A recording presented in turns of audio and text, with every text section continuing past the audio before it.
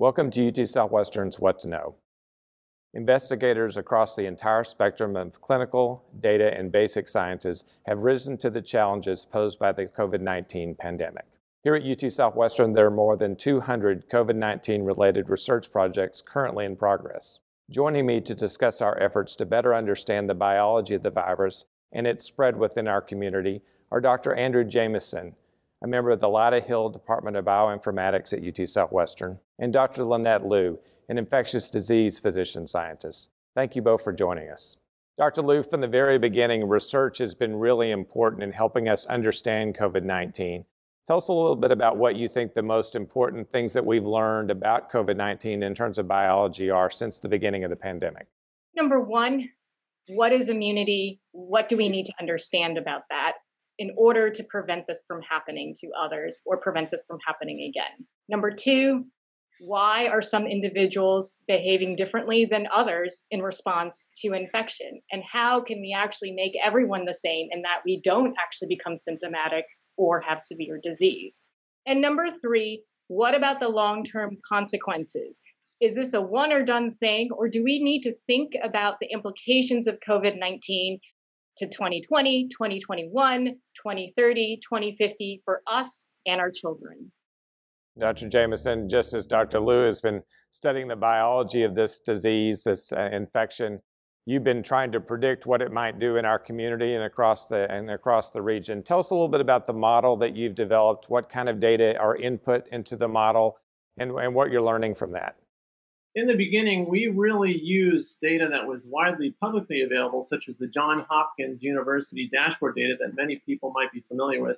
As we moved along uh, in the modeling efforts, we realized that it would be better if we could get uh, more privileged data, such as hospitalization level data from what's known as the RAC, or the Regional Advisory Council. And using these, we can help get better informed answers in terms of how the virus is really spreading within the community and on a local scale. Um, and we continue to build our efforts and our collaborations with our regional healthcare partners to really get access to the highest quality data that we can. Dr. Lu, early on, we wanted to build a biorepository of COVID 19 samples so we could study the disease across different populations and try to understand it better. Tell us a little bit about what a biorepository is and your involvement in leading that effort. When the pandemic hit Texas in March, uh, the dean of our medical school, Dr. Lee, brought together the SARS CoV 2 biorepository group, work group. The purpose was to craft and implement a campus wide operational charter and biobank infrastructure. So now, eight months later, we have conducted over 120 research draws for blood, collected over 250 nasal swabs from positive patients. All of this is to enable us to actually um, make discoveries in patients to understand how infection occurs and how disease progresses such that we can actually intervene. Dr. Jamieson, one of the most important questions your group studied was whether or not to open schools or colleges and what the behaviors might be that m- would make those openings safe. Tell us a little bit about how you thought about that and then what you've seen now that schools are open. This was a very hot topic on everyone's mind. And the truth is, it was, you know, this is uncharted territory. I think we're all trying to learn as much as we could. Thankfully, the, the virus really doesn't impact typically, you know, children and younger adults, uh, such as college age folks, uh, nearly as severely, which is great, of course. Uh, but it also gives us less visibility to how it's been spreading in some of those communities um, as well. But really, if these uh, cases begin to migrate from the children and younger folks to the uh, older populations, that's when we would see problems again. And so, really, you know, hopefully people are, are being careful if, if they aren't going to school and, and sending their children there, that the folks that in their family um, and, and, others in their community that are, are at risk, they're, they're taking extra precautions. Dr. Lu, as the pandemic has progressed, we've heard more optimism about a vaccine. When you think about the scientific questions that are in play as the vaccine comes closer and closer, what things are you looking for to see if the questions have been answered to make a vaccine effective and safe?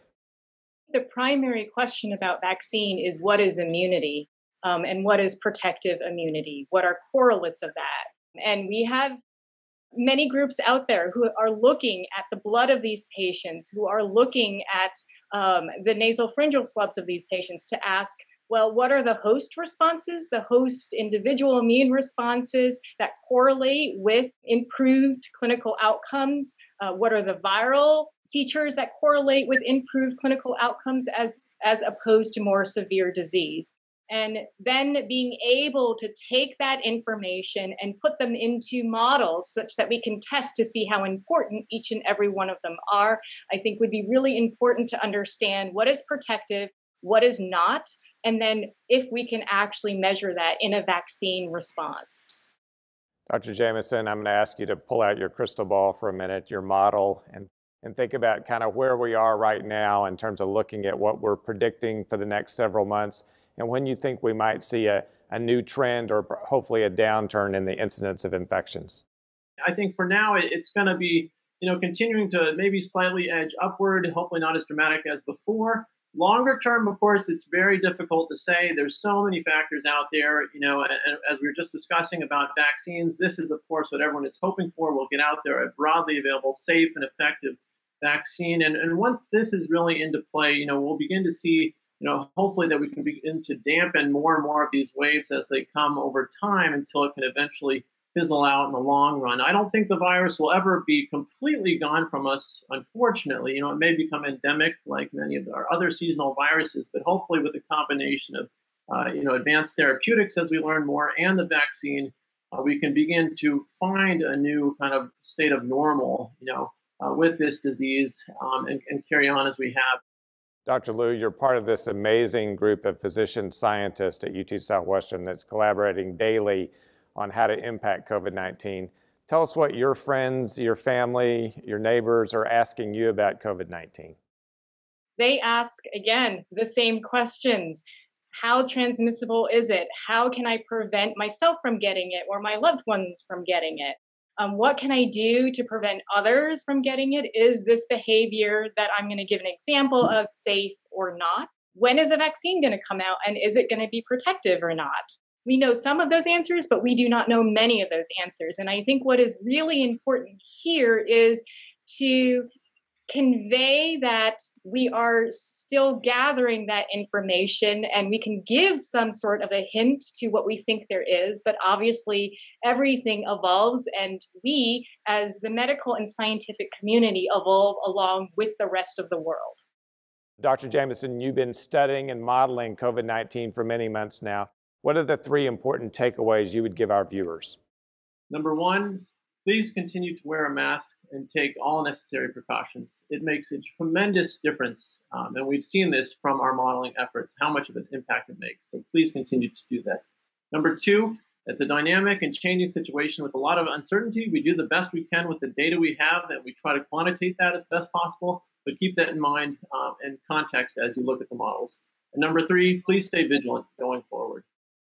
Well, as two people who probably know more about COVID 19 and what's likely to happen over the next few months, I want to thank you both for joining us and for your hard work at UT Southwestern and beyond and helping us understand the virus and to develop uh, therapies which hopefully will not only treat it but prevent it in the future. So thank you again for joining us. Thank, thank you. you so much. Until next week, stay safe and stay healthy.